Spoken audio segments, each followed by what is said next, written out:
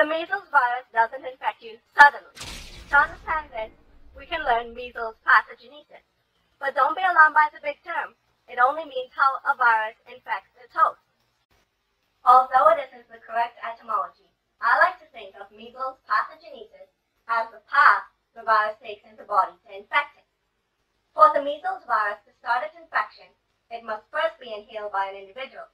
It then travels to the epithelial tissue of the bronchi and the lung and infects either a macrophage or dendritic cell by letting its hemagglutinin and fusion proteins fuse with the cell.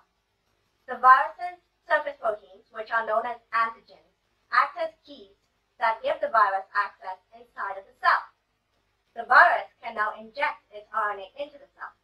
The RNA transcripts and gives the nucleus of the cell directions for making replications of the measles virus. If the measles virus infected a macrophage, the cell would continuously make more measles viruses until it either dies by lysate, which means the cell bursts, or a natural killer cell sends a chemical message that commands the cell to commit suicide through a process known as apoptosis. If the measles virus infected a dendritic cell, however, the infected cell would try to alert B and T cells, but it does no good because it spreads the virus to them all. Soon enough, the infected B and T cells travel in the bloodstream to the lymphatic system. The infected cells also pass through the capillaries of the skin and activate mast cells that release histamine chemicals.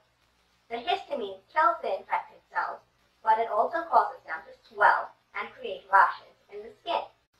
During this fight to eliminate the infection, plasma B cells produce antibody proteins that correspond and attach to the antigens on the measles virus, making it easier for phagocytes to engulf. The remaining natural killer cells and cytotoxic T cells also do their job by hunting the infected cell. When the MMR vaccine is injected into an individual, the viruses get into the system and either a macrophage or dendritic cell engulfs the viruses without getting infected.